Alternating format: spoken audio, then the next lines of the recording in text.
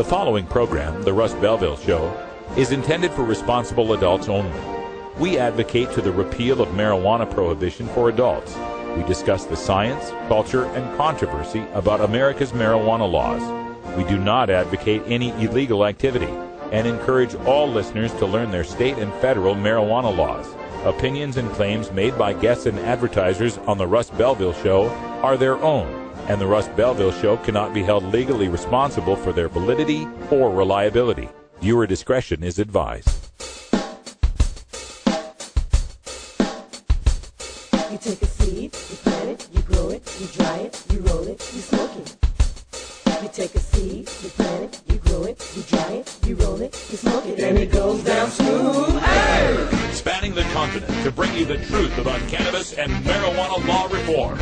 I smoke pot and I like it a lot.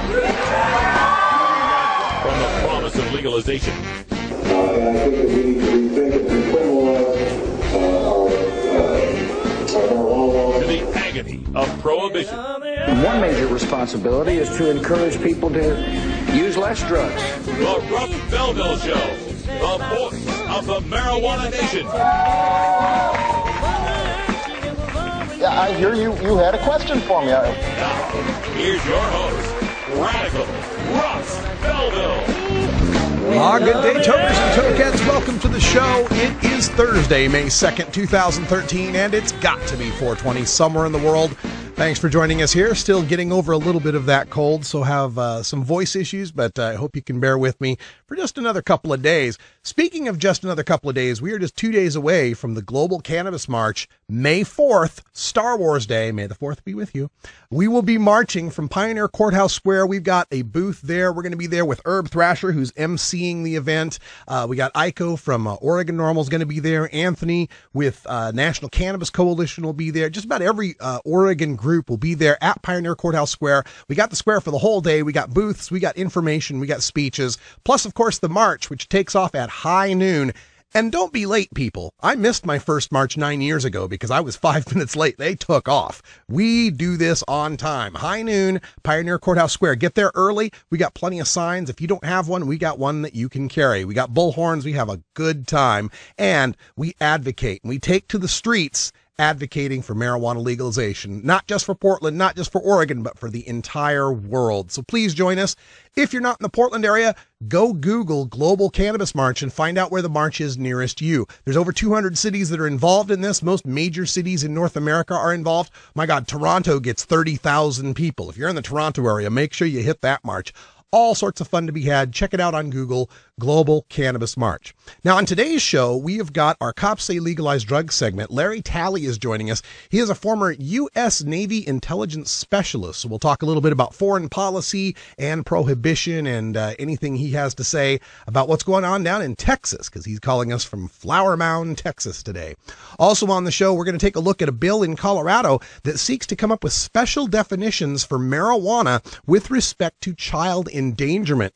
And the good news coming out of our headlines today, of course, is that Maryland has become the 19th medical marijuana state. That's right. We got 19 people and it's just going to keep rolling and rolling and rolling. So, uh, be ready for that coming up in our news.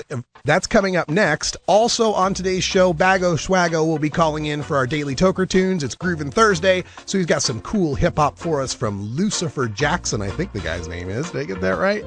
Let's check that out. Yeah, uh, Lucifer Jenkins, excuse me, Lucifer Jenkins. Can't wait to hear this. All that and more coming up on the Russ Belville Show, plus your calls in hour two. Stick around.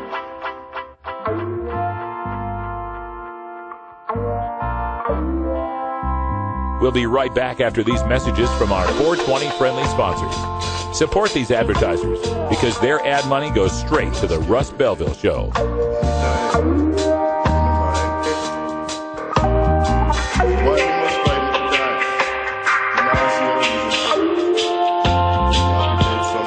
You're tuned into the Russ Belville Show, the voice of the marijuana nation. I'm Sub Cool from Team Green Avenger. At TGAgenetics.com, we are working on the leading edge of medical strains. Our strains are rigorously tested for THC, CBD, THCV, and other critical cannabinoids. Know your grow. Check out our genetic diversity at tgagenetics.com, the home of Jelly Bean, Jack the Ripper, Vortex, and other award-winning cannabis strains.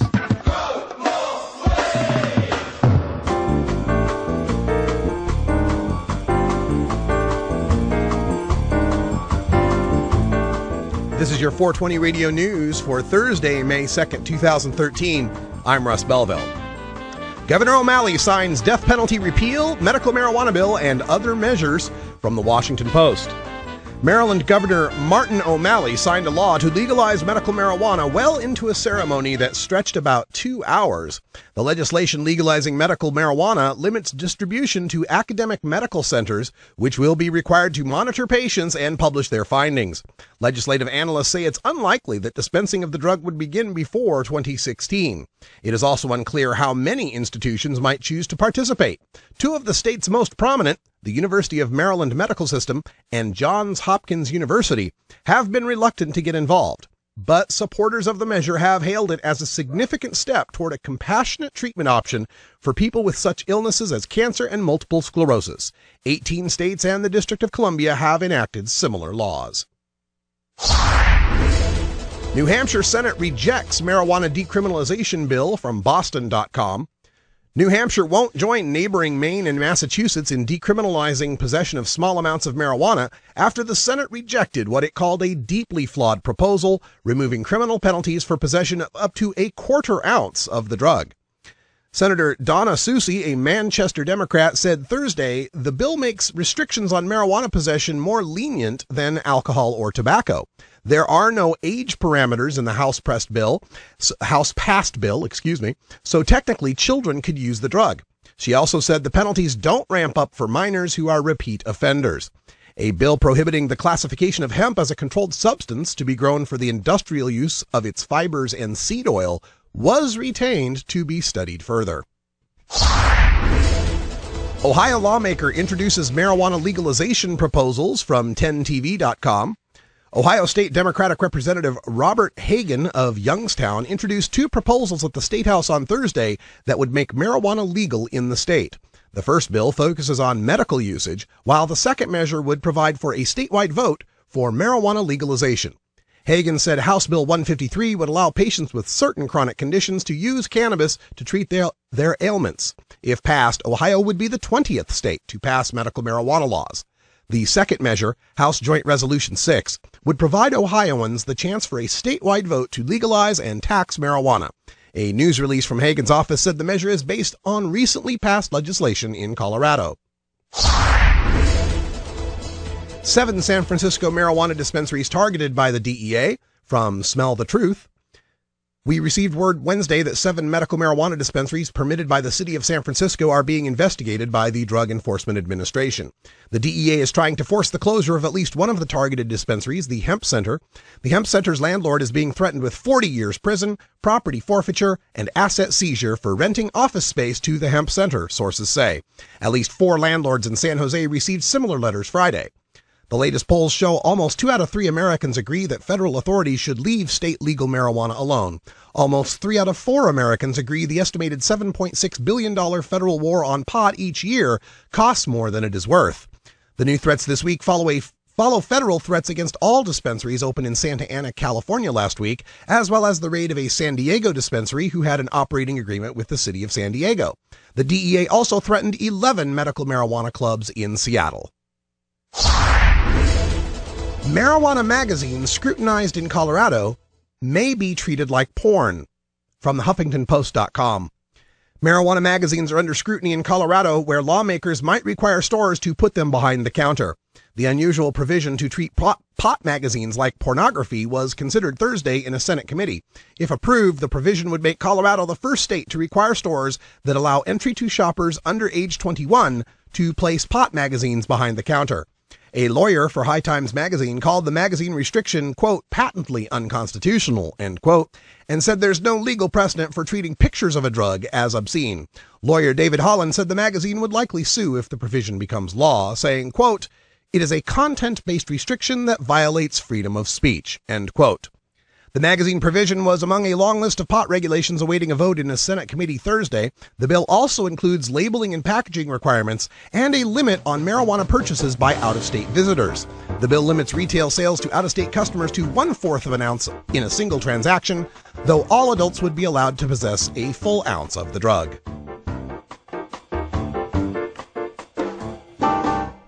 This has been your 420 Radio News for Thursday, May 2nd, 2013.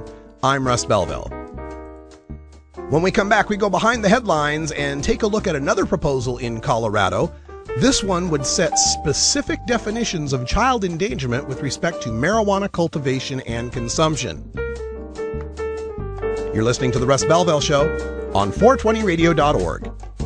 We'll be right back.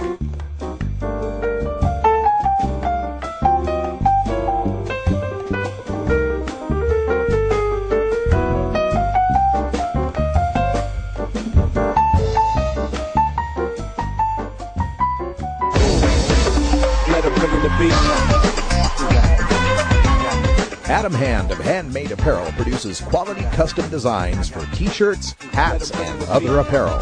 Handmade Apparel is the official design shop for 420 Radio, The Russ Belville Show, Ganja John, and Cascadia Concentrates, among many clients who rely on Adam Hand for everything from short-run custom projects to full-run clothing lines. Adam's meticulous designs are individually crafted and screened in vibrant high-definition color. Visit handmadeapparel.biz to browse the selection of handmade gear or to get a personal quote for your own designs. Handmade Apparel, a proud supporter of 420radio.org.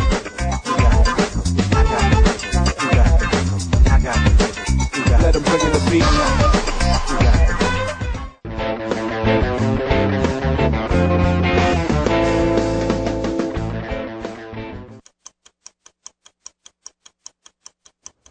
Is he? Don't worry, he's gonna be here. Where is he?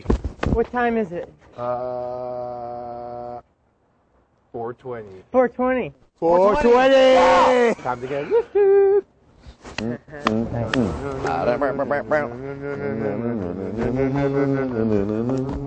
Ah, God. My bones hurt from not smoking. 420 is when we smoke. God, I love 420. It's my favorite three digit number. Do you, do you guys think anyone else knows about 420? What do you mean? It's our thing. You know, we are always saying it, you know. Yeah. That's because we are always smoking at 420, you know? Do you, do you think anyone else has caught on by now? Why would anyone give a rat's dick about when we light up?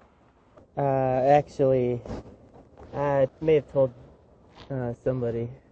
What? How could you? That's our thing, dude. Our thing. Not somebody else's thing. Who did you tell?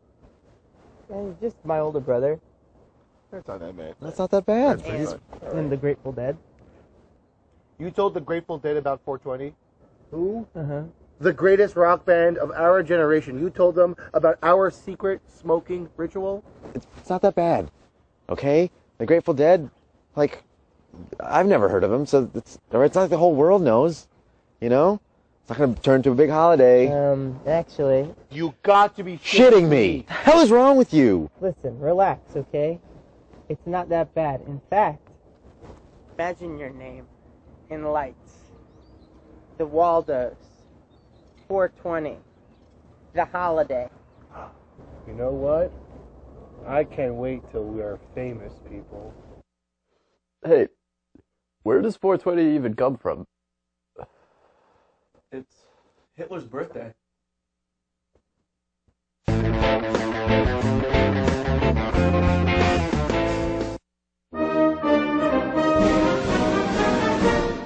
Sir, do you think there will or should come a time for us to discuss the possibility of legalization, regulation, and control of all drugs, thereby doing away with the violent criminal market as well as a major source of funding for international terrorism? Thank you so much for your time, Mr. President. Well, I think this is a, uh, a entirely legitimate topic uh, for debate. Name the time and place, Mr. President. Radical Russ has been prepping for this debate full time since 2005. The Russ Belville Show. All right, time for us to go behind the headlines. And today we get a story from Jacob Sullum out at reason.com. And uh, this one is a pretty harrowing tale here. Uh, Colorado legislators drop plans to cancel marijuana legalization as tax and regulation bills advance. So this is uh, this is one of the stories we're going to have kind of a good news, bad news segment. The good news in this, uh, reading from Reason here, talk of making marijuana legalization in Colorado contingent on voter approval of cannabis-specific taxes has died down in the state legislature, which has less than a week left in its current session. Uh, what they were trying to do here is they're trying to get a certain tax structure passed, and some folks in the legislature there were trying to tie it to keeping uh, to, to a repeal. That basically, like, if you don't pass this tax plan, then we're going to repeal Amendment 64. and that's what they were trying to do there uh, to strong arm this particular tax proposal through. Looks like that's not going to happen. And uh, plus, it would be difficult to happen even if they tried. It would require a two thirds vote of the legislature because it's a constitutional amendment thing, right? And then uh, the repeal measure couldn't be on the ballot this year because in odd numbered years in Colorado, that's when they do uh, the tax measures, right? So they'd have to wait till 2014 to even try this thing. So it, does, it looks like it's dead in the water, not going to happen. So that's some great news coming out of Colorado. But this other bill that gets discussed here at the end of the story, uh, especially considering what we've been going through this past week here on the show, uh, definitely caught my attention. Uh, Jacob Sullum writes A bill the Senate is considering, SB 278, would allow a finding of abuse or neglect when a child's health or welfare is endangered by an adult's marijuana cultivation or consumption. The bill includes an assurance that it does not authorize an investigation based solely on marijuana growing, possession, or use that is legal under Amendment 64 nor does it explicitly equate production or consumption of marijuana in the presence of a minor with child endangerment, although it says, quote, the unrestricted access to the controlled substance by a child may establish endangerment, end quote, which, quote, may also be established by other circumstances when a child's health or welfare is threatened by the drug activity, end quote. Now, this gives me some pause here because it's one of those situations where why are you writing it into the law when we already have laws against child endangerment?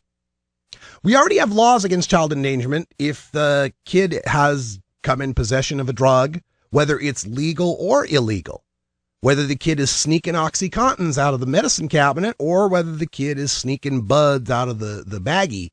Regardless, we already have laws to be able to deal with that. And it troubles me that we would come up with a specific definition and the specific sort of regulation having to do with cultivation and consumption of marijuana when we don't seem to need that same sort of specific language with respect to the home brewing and consumption of beer. Certainly, if someone is home brewing beer and they're giving growlers of it to their 15 year old to party with, I'm pretty sure we could come up with a child endangerment case there, and we wouldn't have to have a specific statute to address that. So I can only think that the purpose of trying to put this law together, this SB 278, is to provide some sort of footing, some sort of backing to a child child endangerment charge if a kid is caught with a bud at school, or if the grow isn't as enclosed and locked as the uh, cop searching the place would like it to be. Given that we have so many people in law enforcement that do not like the fact that Amendment 64 has passed, and given the fact that we have seen in our own experiences on this show how the authorities will use the threat or the action of taking away people's children as a way to get them to comply when they can't do so otherwise through the law, this gives me concern.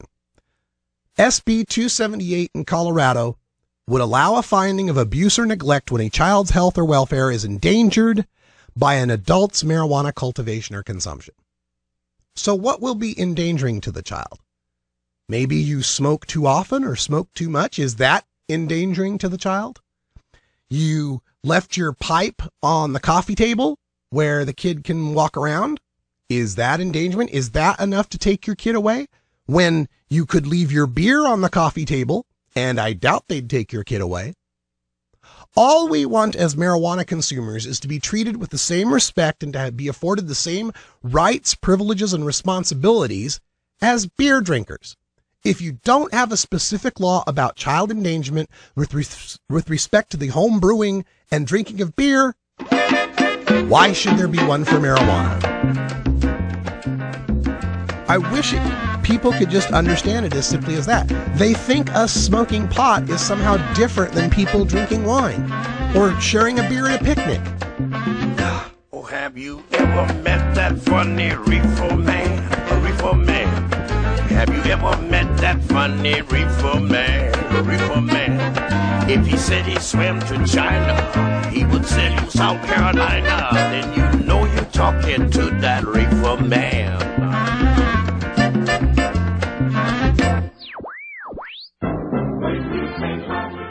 Marijuana and alcohol are the two most popular recreational drugs in America. Marijuana smoking is non toxic, relatively safe, and has a low risk of dependence. Alcohol drinking is potentially fatal, dangerous to society, and is quite addictive.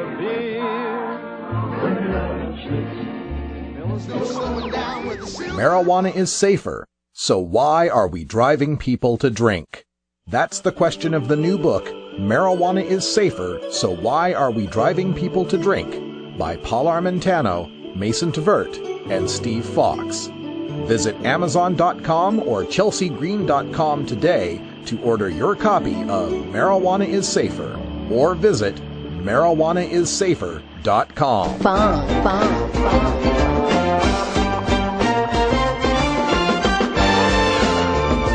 What's happening, cool cats?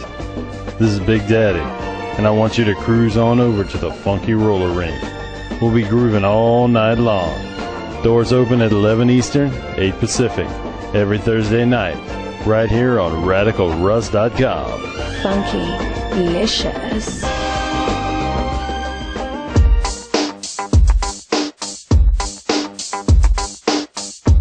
Everyone knows music and marijuana go together, so let's wind up our 20 after break with the Russ Belville Show's Daily Toker Tunes, the best in pod safe 420 music from around the web. Today is Groovin' Thursday, featuring rap, hip hop, soul, and funk music. You can get downloads and more information about all our daily Toker Tunes by visiting music.radicalruss.com. Now, sit back and enjoy your daily Toker Tunes. Welcome back, everybody. Time for some Groovin' Thursday, and we turn things over to Bago Schwago, who's on the line. How you doing? I'm doing good, sir. How are you doing today? Oh, I'm doing all right. I'm still breathing oxygen, and that's uh, pretty much all that counts on some days. Uh, so, hey, before Every we day get- you wake up's always a plus. I like. That's right. I check the obituaries. If I'm not there, then we might as well get on with the day. Um, before we get on with our song, I want to remind folks that we got uh, Big Daddy Fink's Funky Roller Rink new episode coming up tonight, uh, eight o'clock Pacific time, and uh, the title of it says Psychobilly. So I, I think we're going to get something very interesting tonight. Check that out at eight o'clock, and then coming up tonight. Uh, uh, five o'clock, right after this show, we've got last night's edition of Red Eyes Reggae Flashback with Brian the Red. Check it out. And actually, he he plays uh, "Legalize It" by Peter Tosh. He actually went 28 shows before he played "Legalize It" by Peter Tosh. I was pretty surprised. All right, got that out of the way. Let's turn things over to Bago Schwago. What do we got for today's tune? Okay, well, I've been doing a lot of music searching yesterday, and I'm happy to say I found quite a few tracks to keep things good for the next couple weeks. So that's exciting. Yeah. Um, and actually, next week I might have a guy joining us uh, to introduce his own song. So that that's really exciting as well. Uh, this guy, his name's Lucifer Jenkins. I love the name. Kind of creepy if you, if you know what that's all about. Um, I couldn't find much on the guy. He's based out of Delaware. Uh, this song is actually part of the Sweet 302 mixtape.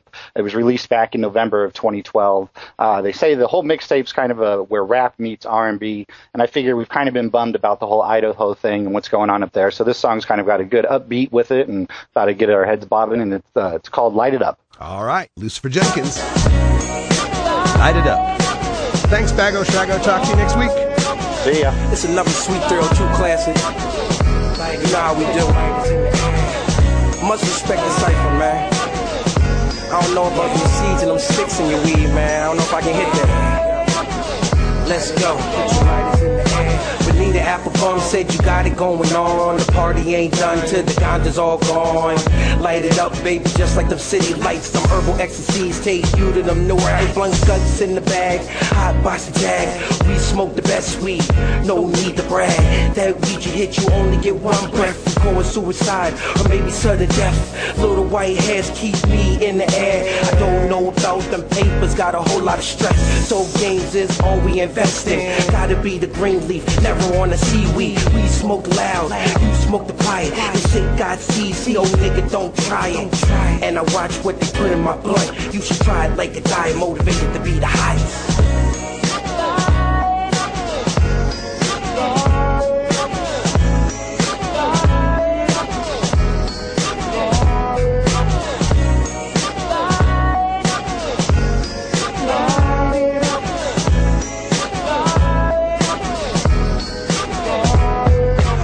Up in the bin, slide off in the road, politic with my nigga, party with the hoes, chrome feet on the whip, light on my toes, quarter set the shows, that's all a nigga knows. No table rolls, we keeping it G, blunt so proper, you should be paying a fee, but you know.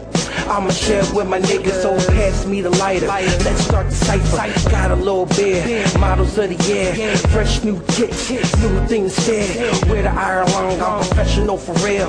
Lever on the seat, so ready to chill. You know a nigga hungry, so go get the munchies. The homie don't hate, just pack the Jack Daniels sauce for my sake, and you leaving the tip. Yeah, since you smoking free and shit.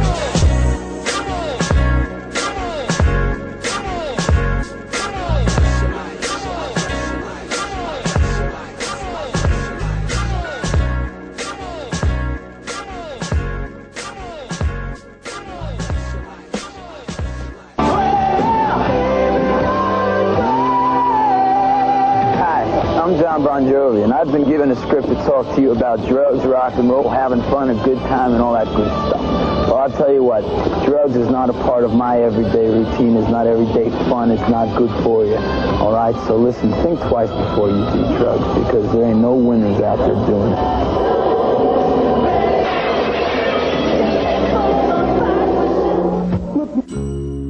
it. Georgia. Hi, this is Willie Nelson, and I need your help. Alcohol prohibition didn't work in the 20s, and marijuana prohibition isn't working today. It's time we stop arresting law abiding citizens because they prefer marijuana over alcohol. Nearly 2,000 Americans are arrested every day on marijuana charges. We're unfairly destroying the lives and careers of hundreds of thousands of people each year simply because they smoke marijuana. These are not criminals. They're average citizens like you, good neighbors who work hard, raise families, pay taxes, and contribute to their communities. We need your help to end marijuana prohibition once and for all. It's the fair thing to do. For more information, contact NORML, the National Organization for the Reform of Marijuana Laws. Call toll free 888 67 NORML or visit their website at norml.org.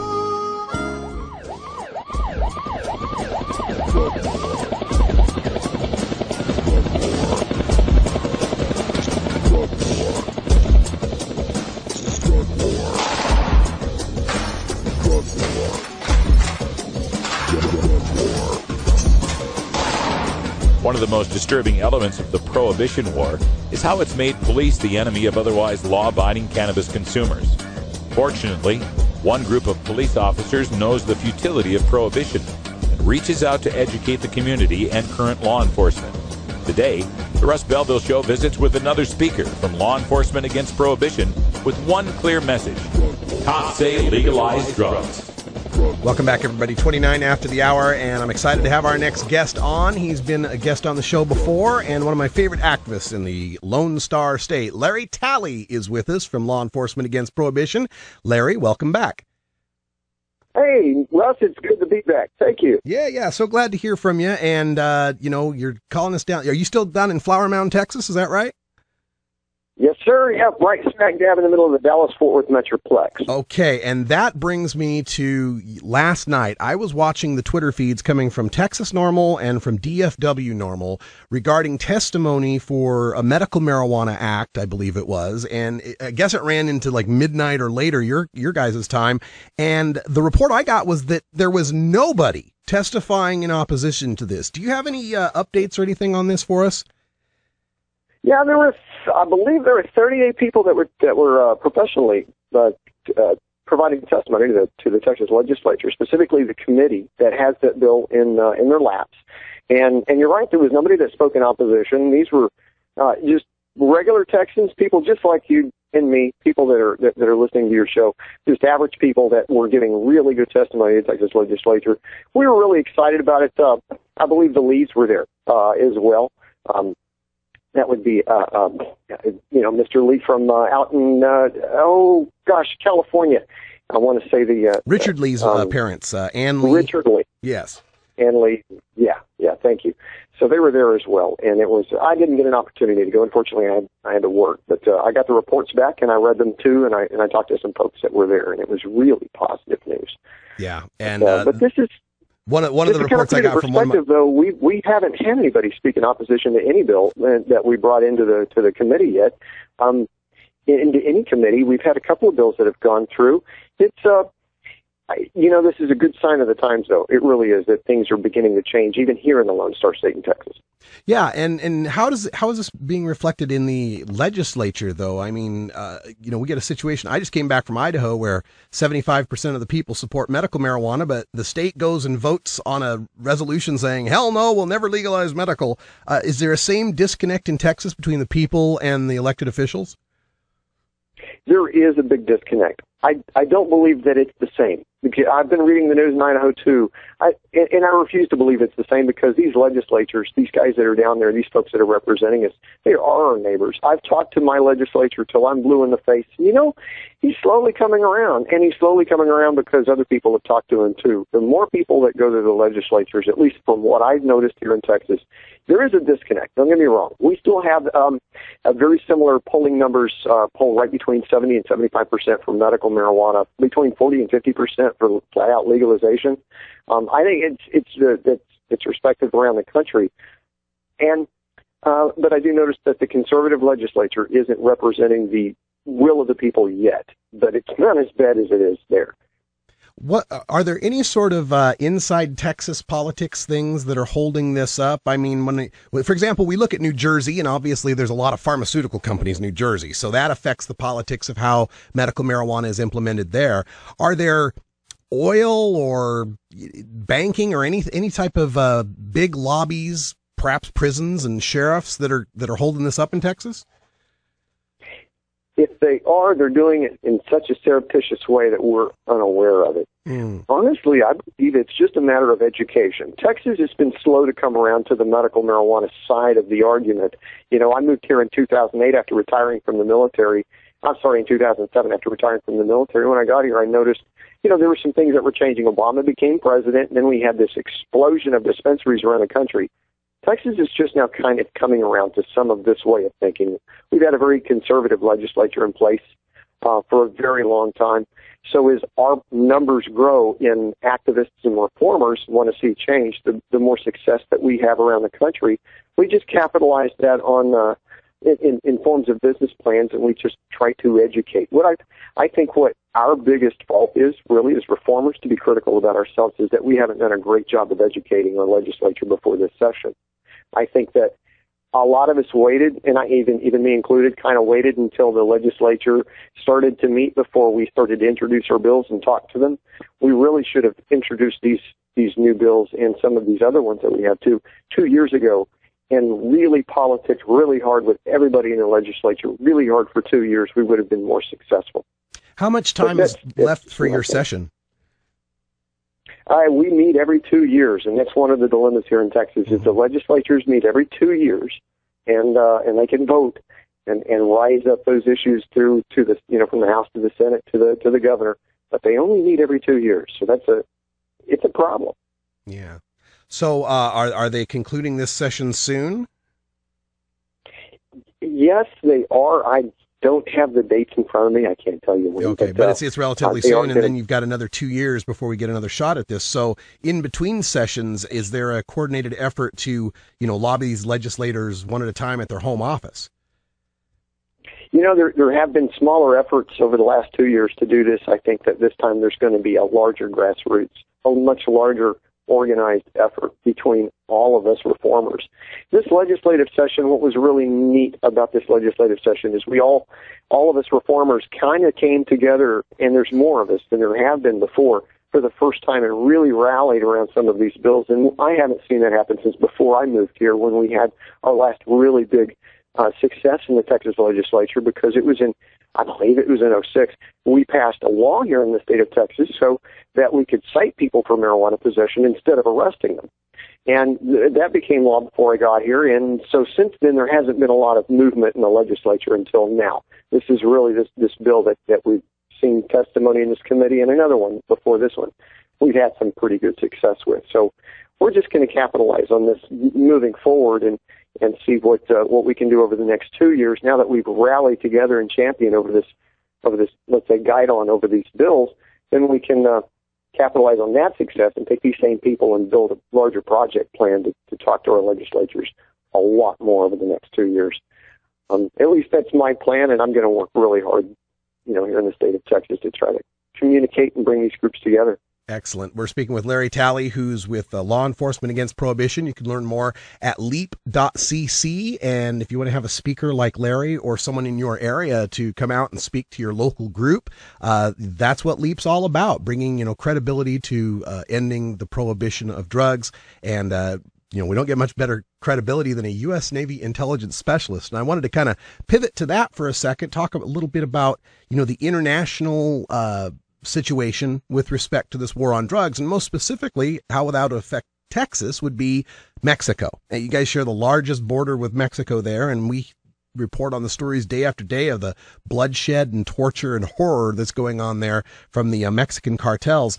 Is that becoming a talking point amongst reformers? Is that something you use in discussing the legalization issue? And does it does it resonate? You know, it, it, it is something that I thought I do talk about. Uh, we have to talk about the 60,000 plus people that have been killed in this drug war just south of the border, how we created the situation, and how we are how we as a as a country using these policies that we have in place continue to perpetuate that. It's a very big talking point. It's hard for people here though as they're as they're sitting in these Rotary clubs or or watching watching from their computer and they listen to my speeches and they listen to his talk. It's hard for them to visualize sixty thousand people. Yeah. That it's hard for them to, to imagine the carnage and the war that's taking place just you know miles down south of us. Um, in, in so so that's I think what the presentation does a pretty good job of is showing some pictures and demonstrating. Uh, you know, from my paradigm and my experience, I worked in Central and South America and uh, in the drug war and and did a lot of stuff in uh, in, in to to help support U.S. policies in bringing the U.S. to a drug-free America by 1995, which which of course was a failed mission Yeah. and uh, and uh, it didn't work out so well, and that's what brought me into uh, over over a lot of years into LEAP and where I am today. But you're you're right. The carnage in South in, in uh, Mexico is is really beyond belief, and those people that have uh, worked with drug policy and have gone down there have have visually seen this and, and know that what uh, how how bad our policies really are. Yeah. You know, you made a you made a quick statement there about you know people can't imagine the sixty thousand dead, and when I when I think about imagination and education and how people see the world, I point my finger at the media, and I'm wondering uh, about the Texas media there, the the local stations. Do they report on this Mexican drug war? And and if they do, I mean, I noticed when the bombings happened in Boston, the media wasn't sh- so shy about seeing you know blood and carnage in the streets and bones sticking out of legs that used to be there, but we never got those shots from Iraq, Afghanistan, or this Mexican drug war. Do you think if we had a little more more coverage like we had for Boston with respect to the Mexican drug war, it wouldn't be so hard for people to imagine?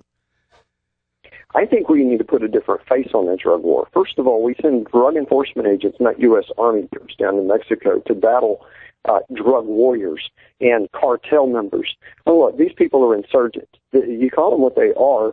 And they're insurgents. Instead of sending the Drug Enforcement Agency down to Mexico to fight this war, if the government of Mexico wants our assistance, we should be putting military troops down there to battle these insurgents so that we can ensure the stabilization of the country of Mexico. At the same time, coupled with programs here to legalize marijuana to cut off the the head off of that cart uh, of all of those cartels, which is the main source of their income, is bringing marijuana across the border in the United States.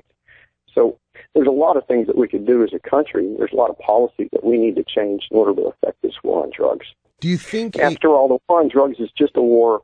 It's just another word for a war on people. Because I'm going to tell you, I've been out there. I've I've carried a gun. I pointed it and I pulled a trigger. I'm going to tell you that drugs do not shoot back. They just don't. People shoot back. This is a war on people. It's a war on people in South Central America. It's a war on people in South America, and it's a war on people here in the United States. And our government does not need to be in a war with people here in the United States. I'm wondering, uh, with respect to what you said about insurgency, if we were to apply an end to prohibition in America, you know, say we say we could wave the wand and get what LEAP prohib- you know, uh, promotes, which is, you know, marijuana legalization and sensible regulation of other drugs. If we could, if we could take that away, take that incentive and that, that financing away from this insurgency, would we have to deal with it like an actual insurgency and send military troops and have us in a Iraq or Afghanistan style warfare, you know, escalating south of our border? Well, hopefully that if we were able to come up with sensible policies that eliminated the the profit, took away the profit from the cartels so that it would deflate the cartels, that the, that the cartels would then deflate themselves. Mexico would be able to deal with those armed gangs of people that are doing those bad things, trafficking people and committing murders. Those are the things that they want to go after. And of course, they're going to deflate when there's no money. Yeah. You know, these cartels walk into towns, they buy the town, they buy the people. If they don't have money to do that, then we can certainly, certainly expect that the cartel's power is going to be greatly diminished. There's, there's still going to be some leftover after we do this. There's going to be a transition period here in the United States and overseas, but it's easily overcome. We've done these types of things before. Mm-hmm. Yeah, like I say, the difference between a, a cartel and a gang is cash flow, and uh, we cut off some of that cut off some of that cash flow. We can treat them like the gangs they are, and it's going to be a lot easier situation. Um, Larry Talley with LEAP Law Enforcement Against Prohibition. You can find him at leap.cc or copssaylegalizedrugs.com. Uh, do you have any public speaking appearances where people can catch you coming up pretty soon? Absolutely. You know, this Saturday here in the downtown Dallas, I don't know if you folks know that are listening, but Russ Belville came out to Dallas last year and he participated in our annual marijuana march. Well, we have another annual marijuana march and it's coming up this Saturday. This Saturday, though, we're going to be in downtown Fort Worth. DFW NORML stands for Dallas Fort Worth NORML. So this year, in, in respect to our, to, to the old Fort Worth, we're going to be out there at, uh, at the Federal Plaza at noon. And we would love to have anybody that's listening to this come out and just join us. It's going to be a wonderful time. There's going to be music. There's going to be protests. There's going to be speakers. I'm going to be speaking. We have a lot of speakers. It's going to be a lot of fun. So that was that's my next speaking opportunity. is going to be Saturday at 3:30 in downtown Fort Worth. All right. Well, hope you guys have fun. May the fourth be with you, and uh, have fun in Fort Worth on the fourth. It's like a tongue twister. Larry Talley from LEAP. Thanks for joining us, and we'll talk to you again sometime. Thank you, Klaus. All right, when we come back, time for a little personal radical rant. Be right back.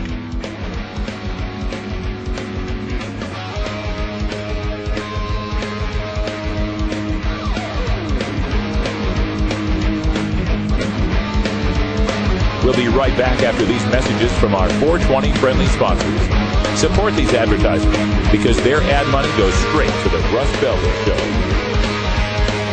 You're tuned into the Russ Belville Show, the voice of the marijuana nation. Cast your eyes up to the skies. What is it to live and die? NORML stands for Responsible Adult Cannabis Use. If cannabis use is causing problems in your life, consider taking a break or seeking medical assistance. Consider ceasing cannabis use if you have a family history of mental illness. Don't drive or operate heavy machinery while impaired by cannabis use. Cannabis use is not without risks, even though the risks are far less than those posed by legal drugs.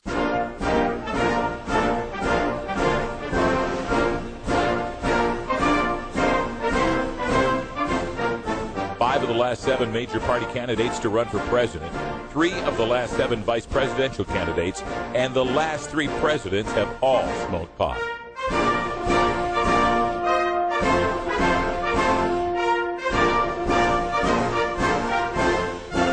Marijuana, the gateway drug to the White House. This is the Russ Belville Show. You want answers? I'm as mad as hell, and I'm not going to take this anymore. You want answers? You have offended my family. I think I'm entitled. You want answers? I want the truth. And you have offended a Shaolin temple. You can't handle the truth. Surely you can't be serious. I am serious. And don't call me Shirley. Radical rant. The price of activism, or be careful what you wish for. Um, today, I'm just going to take a personal time for this last part of the show, and uh, that's the way it's going to be. So you can fast forward, or if you're listening on podcast, stop it if you want, because this has nothing to do with marijuana legalization or the or the fight. It's just kind of my life, and I, I got to talk about it because I well, I need someone to talk to, and you're here, so I'm going to talk to you. Um, April 30th, as you know, uh, I was down in, uh, was coming back actually from Boise, Idaho. On the 29th, I'd been down there for the uh, Idaho 3 press conference, Lindsey Rinehart and all that. And the 30th, of course, was Willie Nelson's birthday. It was his 80th birthday, and we gave a shout out to that.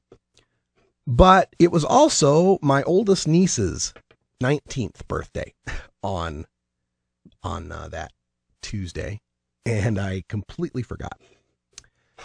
And um, kind of bummed me out that I forgot. Uh, it was brought up to me.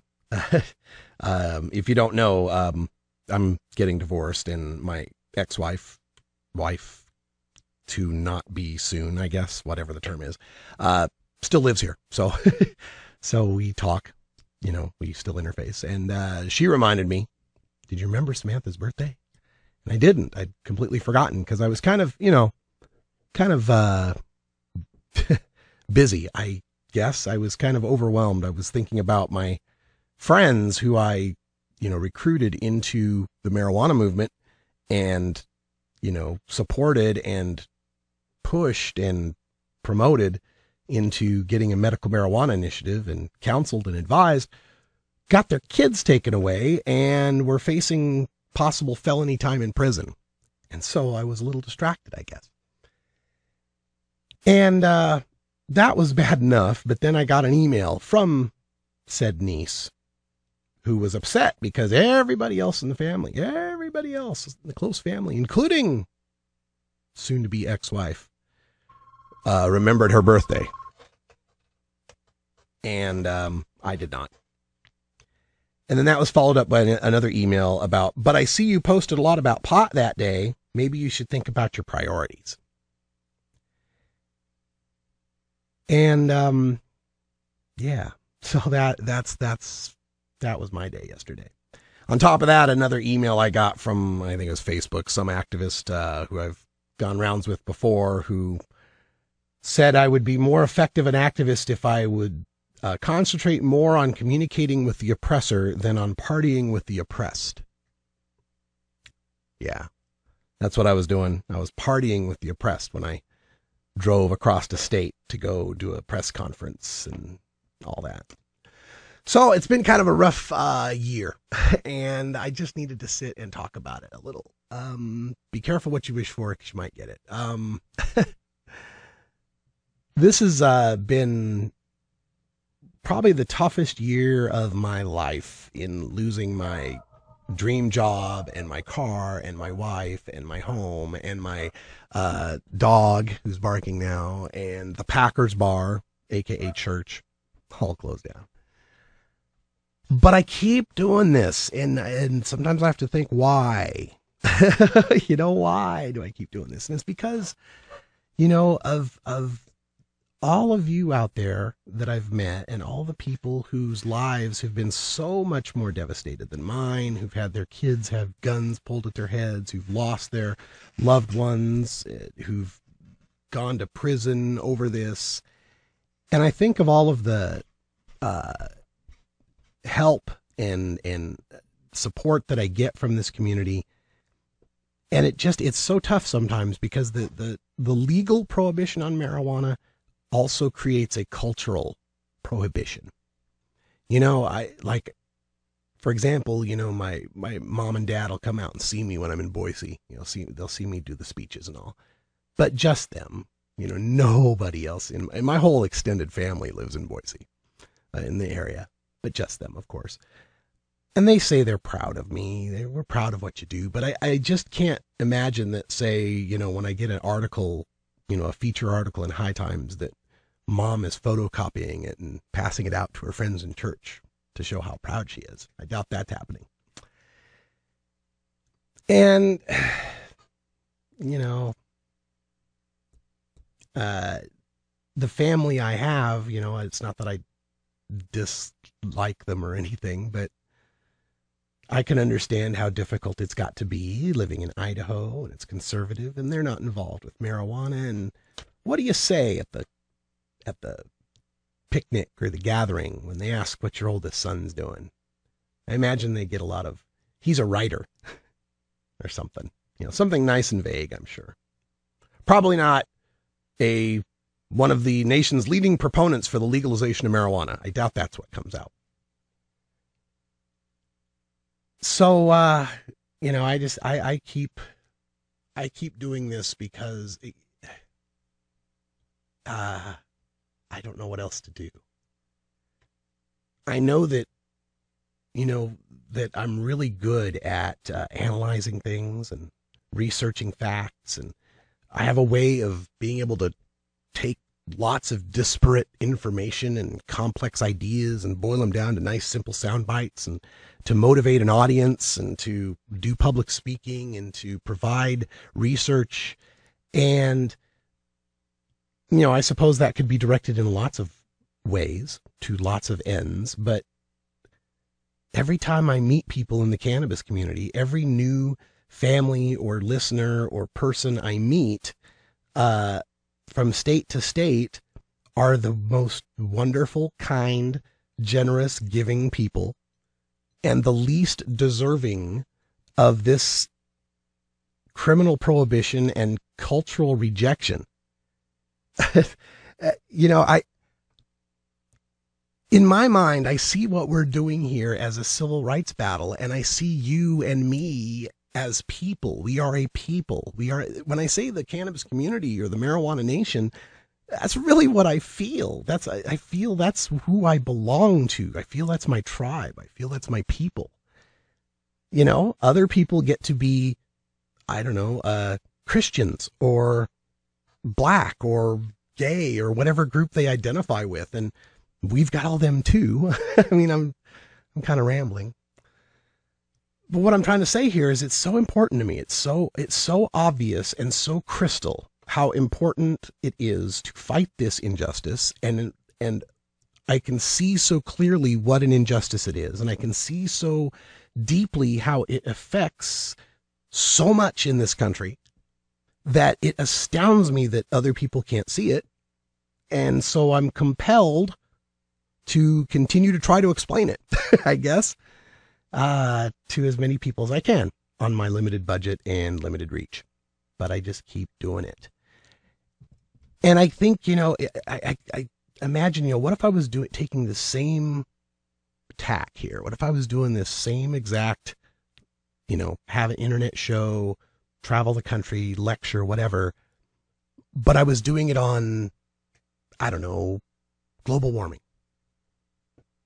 Or if I was doing it on you know, uh, Amnesty International, you know, ending torture and human rights abuses. Or if I was even, you know, even involved with, say, PETA or vegetarianism or something, how much different it might be. How I might get all sorts of, uh, uh, you know, I don't want to say accolades, but respect and admiration from my family and from my, you know, old friends back in Idaho. If it were something that they could proudly be able to tell their friends, you know, wow, did you see Russ was on the news in Atlanta? You know, work. And, and uh, okay, if it was something like PETA or vegetarianism and they were in Idaho, it still might be a little cultural taboo, but they could at least talk about it. They could at least be proud of it, I guess. You know? Did you see Russ debated a, a guy from the government? So, I guess the point of this rant is to say, be careful what you wish for. You just might get it. And I, I just, this is what I wished for was to to have a platform, to be an activist, to fight this fight. And uh, I got it. So, um, I guess it's a warning to others if you're going to get involved with this. be careful what you wish for, what you wish for. But you know, I guess I guess maybe that's why you guys support me so much is because maybe maybe you're a lot in the same situation I am maybe this is, you know, you know what I'm talking about. maybe you've also, you know, been kicked out of school or lost a job, or maybe you're that person in the neighborhood that everyone knows is the pothead. And uh, maybe you feel the same way I do on some of these things. Maybe that's uh, maybe that's what keeps this community together. You know, when I when I was in high school, I if you want to know why I got the name Radical Russ, a little short story here. It has nothing to do with, you know, being exceptionally radical. I'm not really radical in that sense of the word. It has to do with the fact that when I was in high school, we had a group that was called the NHS Radicals. That's Nampa High School. We had this little fraternity, this little club called the Radicals. And we uh, actually we were kind of a trench coat mafia. We used to wear trench coats to school back before it was, you know, goth and cool, I guess. But um, yeah, we had this little group called the Radicals. We were this little kind of pep squad fraternity thing. And I was kind of a leader of it, although it was kind of leaderless, but I was the organizer, I guess. And um, one thing about that group that I always remembered is that we were kind of the group of the people who had been rejected from all the other groups. You know how the cliques are in high school, right? It's like I was kind of the honor student, but didn't really fit with the honor students, you know? And Rick, he was kind of the jock, but he didn't really fit with the jocks. And Mike was kind of the, the, the boozer, but didn't fit with the boozers and, and so on. We had this group of guys, you know, uh, and we were always kind of the, the, the group of the rejects that all banded together. And sometimes that's what, uh, sometimes that's what this feels like when we're doing cannabis community stuff is that you know, if marijuana was legal, I don't know that if, if a whole lot of us would ever hang out together. you know what I mean? Think of how disparate we are. Think how different we are from the from the Vietnam vet to the stoner skateboarder, from the the marijuana lawyer to uh, to me. I mean, we're a we're a hell of a hell of a diverse group. And so we're kind of the group of all the people who had to band together because I love because of this. Uh, thanks, Cass. Appreciate that. because of this, um, because of this prohibition. You know, the culture of outlaws. Anyway, uh, thanks for listening to me ramble just a little bit because um, the way my brain works, I can't really concentrate on the job I have to do when there's this stuff going on, and I don't have uh, a lot of outlets anymore to to be able to talk about these things. So thank you for listening. Sorry for indulging myself here. I'll be better tomorrow and we'll have a great rant for you. We'll continue fighting this prohibition. So until next time, take care of each other, tokers.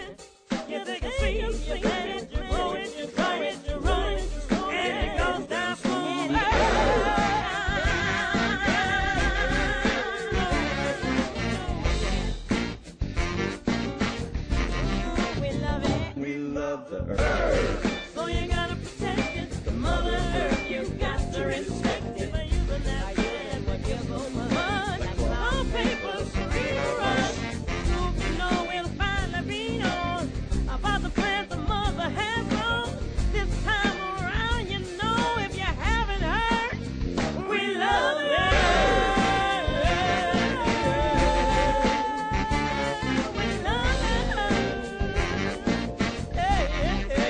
This is the Russ Belville Show.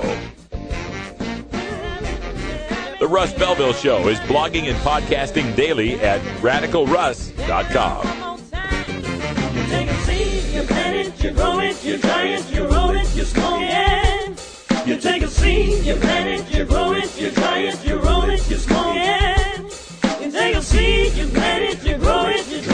roll it, you smoke it, and it goes down.